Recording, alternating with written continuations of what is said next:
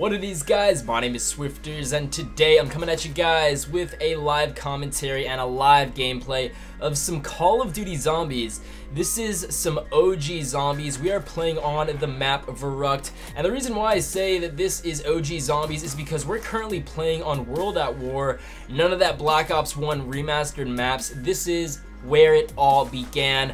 Call of Duty World at War, playing on the first DLC map, Verrückt, and in today's video I just wanted to talk to you guys about this map. Now, in my opinion, I think that Verrückt is probably the scariest map that we have ever gotten in Call of Duty Zombies. Now I know a lot of people feel the same way about this just because Verrückt really creates a pretty terrifying atmosphere.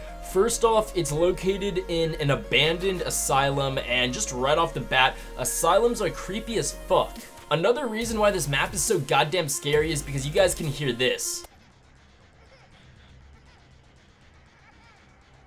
It's a fucking baby crying. Why is there a baby crying in an asylum? Okay, the thing about World at War is that the knife is just so bad. It is honestly the worst thing in zombies. I hate knifing zombies in this game. Now a really cool aspect that I personally like about Verrückt is that if you guys were to play with multiple people, oftentimes it spawns you in different areas of the map. Two people often spawn in this room and two people spawn on the other side and it's really cool because it tells you that power will reunite you and your teammates and I really really like that aspect about Verrückt. It definitely adds a little bit of suspense and horror to the map just because you're not with your teammates the entire time. And I think that that would be something that Treyarch should reincorporate in a future DLC map, having the team split up in the very beginning, just because it makes the map a little bit more difficult. And I think that that would be a really cool thing to have in Black Ops 3 just because it's such an advanced game and Treyarch could come up with some amazing ideas by having our team split up in the very beginning of the map. There is just all sorts of noises going on in this map that I am not down for. What the hell? Gonna purchase the OG Thompson. I absolutely love this gun in World at War, and I love even more the Tommy gun in Black Ops 2 Zombies when they brought that to Mob of the Dead. Oh, I fell in love with that gun. So, so fun.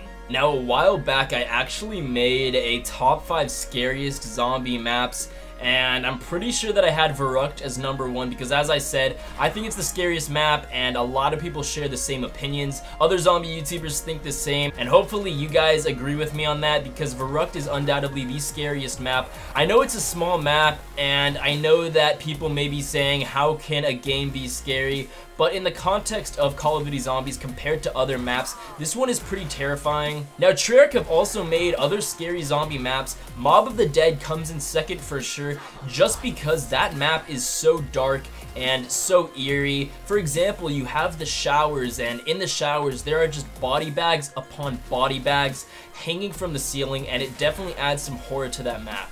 I love this game so, so much. Even though the graphics aren't too good, it's still really cool to go back and see really where it all began, and having perks in the map for the very first time was also super, super cool.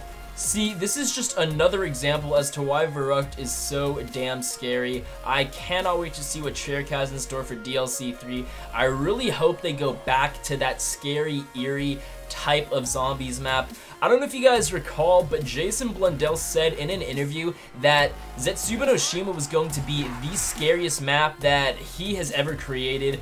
And in all honesty, I was a little bit disappointed when the map actually came out because it wasn't all that scary. Granted, the map did have some scary features to it, such as the doppelganger jump scare and all of those weird audio easter eggs around the map, but for the most part, it didn't do the same thing that Verrückt did. If you guys are kind of catching my drift, Verrückt is just on another level that I can't really explain, and I really hope that with DLC 3, we do have that scare factor that I know a lot of zombie lovers really enjoy. Whoops.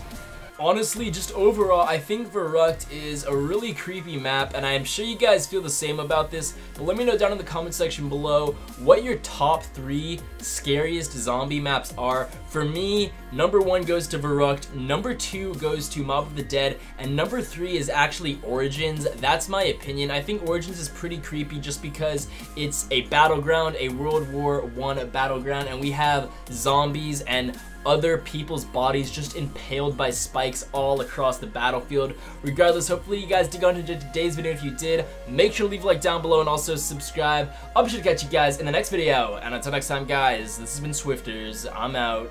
Peace.